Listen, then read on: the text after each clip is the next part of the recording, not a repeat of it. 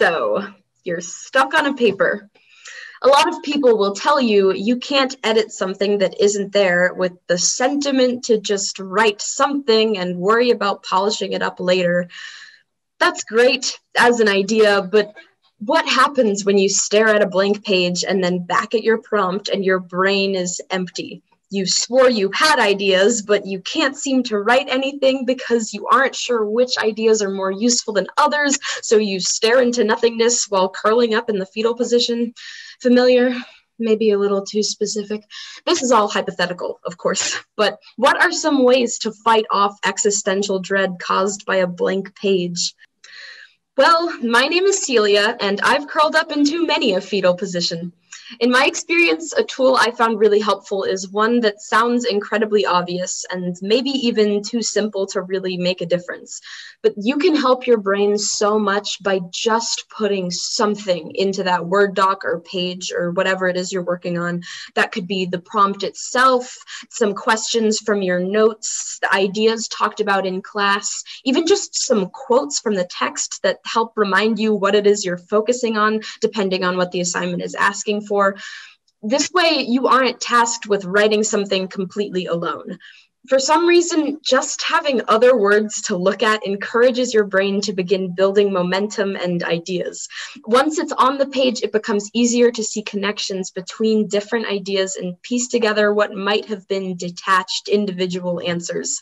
Sometimes it's the paragraph that you don't end up using that shows you the direction to head towards. The initial block is what you need to get through part of this is still easier said than done, but hopefully this shows one way to begin the leap of faith of writing something new. All right, hi everyone, I'm Garrett. So, my problem is transferring themes from the text into my own writing and analysis. And well, that's kind of a big problem when a lot of the assignments that you have kind of require you to read something and put it into your own words, your own ideas. So, my solutions for doing this is the first one is that I turn off what I like to call my writing brain. And that's the thought process I use when I'm writing a paper, when I'm formulating my own ideas. And so the reason I do this is because you can't be thinking about what you're going to write about a piece that you have to read before you've actually read it. It's just impossible. It doesn't make any sense. So then the second step there is just read to get the essence of the text. Just read it as it was intended to be read, just as a reader. Go through it, just be the author's audience and see what are they trying to get you to understand or get out of the text. When you can do that, suddenly all of the connections, more things become clear that then you can use in your own writing when you're analyzing it. And then you can go back through and analyze what you've read from the mindset of, okay, what am I going to write about this? And again, you can't do that until you've actually understood what the author wants you to get out of the piece. So, a lot of the things that I like to do while I'm reading to get the essence of the text is like annotate circle, underline like anything you can that you think is significant or relates to what you might want to write about later. That doesn't mean you're thinking about your, what you're specifically going to write, but you're thinking about those important themes that you can then use later on. And then when you get finished, you know, going through the entire essence of the thing, you can decide to go back through and look at those things you underlined or the key ideas, pull out quotes, excerpts that you can use in what you want to write. And then suddenly, I think it becomes a lot more manageable when you take that two step approach to reading the piece. So I'm Ryan, and my problem is feeling very overwhelmed just with the prompt. Um, when I get a paper, my immediate reaction is anxiety because I feel like even though I pay attention in class, I take notes, I do everything that I'm supposed to, I still feel like I'm just going to be blindsided for some reason. So, my solution to this problem is even if I think I know the paper through and through, or if I don't, I talk it out with my professor. So I read the prompt, I say, Hey, can we have a few minutes after class and talk about it? And they'll say yes, obviously, because they're great here at Rockford. um, and then I'll sit down with them and I'll say, This is what I'm getting from the prompt. This is what I plan on talking about. This is what I know about the topic. Does it seem okay to you? And they'll say yes or no. You're on the right track, you're not on the right track. Um, and that kind of just gives me validation as a writer that I know what I'm talking about and that I know what I've been learning. And I, it's sticky in my brain so I can refer to it back. So just that little reassurance and validation really helps me write my papers. Hi, I'm Stephanie, and my problem usually comes from when I'm faced with an essay that's full of questions in the prompt. And I feel like a lot of my classes for like either like political science or like history, like they contain a bunch of questions. And I guess a good example that I wanted to talk about was recently um, Kim and I have a class together for um, English 381. It's modern Irish lit, and we had a close reading paper to do. And I had never done one of those. And Dr. Ray posted the prompt, and in the prompt in the guidelines, there were a bunch of questions for like diction, narrative voice, figurative language. And so, what I did, this may seem very straightforward, but I literally went through each single question and answered it. And I did all this on a separate sheet of paper because if I did it on the Google Doc, I would get a little confused. So then once I like answered every single question, and there were a bunch of them, I would say there was probably like 20 of them in Dr. Ray's guidelines. I like got a good like sense of what I wanted to talk about, and I was then able to like create my thesis. So then after that was done, I go back into the Google Doc, and I'm very big on organization. So I went through for each paragraph, and I would write one word describing what that paragraph would be. That way it would help me with like following and like writing the essay. And then lastly just a helpful tip i've learned especially like in the last semester from a history professor was to wait to work on your intro last. Because i know sometimes when i want to start a paper i'm like freaking out because i'm like i don't know how to start my intro or like what to say but i've learned just to like start with your body paragraphs and like what you already know and then you can work on your intro and then your conclusion last Hi, everyone. I'm Kim, and my problem is getting the ideas out of my head and onto the page.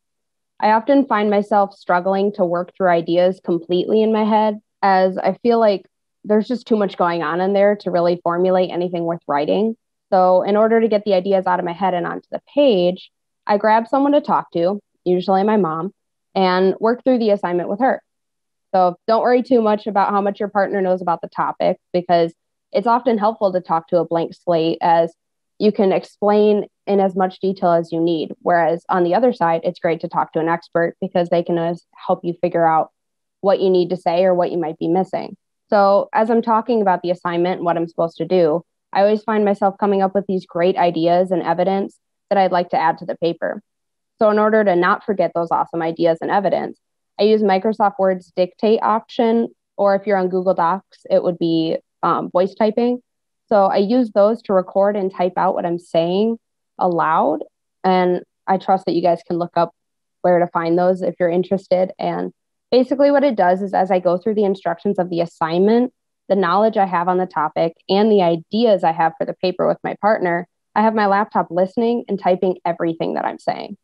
So once I finish discussing the assignment, I read through the computer's text, take out any unnecessary information, and reorganize for the sake of clarity, then boom, I have a really ugly and underdone rough draft. So I use this draft as an outline, placing the text into the notes on my document and begin the paper from there. It's also really beneficial that I'm no longer staring at a blank page, but a page full of sketched out ideas. So this method is really helpful for people who feel as though they speak better than they write or they think better aloud. So I hope you give it a try and that it helps you as much as it's helped me. Hi, I'm Dr. Kyle Stedman. I teach in the English department, and I know you're saying, wait, you're the professor who's giving us all these problems. But you know, I'm a writer too. I'm someone who, as part of my job and as part of my interest, I'm always trying to produce writing. And I was thinking about a recent project that I started maybe a, a year or two ago. And I was talking to a friend who had a very different scholarly interest than mine. I focus a lot on sound and how people write and use sound to communicate ideas. And this friend, he he does professional writing. He talks about how people in businesses and at their jobs do writing. And we were talking and we started realizing there were all these connections between our fields that neither of us had ever thought about before. And there was something about the energy of that conversation. We, we were just at a party at a conference, you know, we're, we're casually talking. And the more we talked about it, the more we're like, we have to write this. So even though I was busy, even though I had a million other things I should be doing, later, uh, I think it was just the week after that, we started emailing and we started a thing and we got a Google Doc going that we were sharing. And I remember feeling like we moved forward on this project really fast. And looking back at it, a little part of me is like, how did we do that? So for me, the key was the excitement. And I know what you're saying. You're like, lucky for you, you get to pick what you want to write about. A lot of times in my classes, I don't get to pick what I want to write about. I get it. I get that that's true. And yet there's this little part of me that wonders how could you find some excitement in the prompts that you get?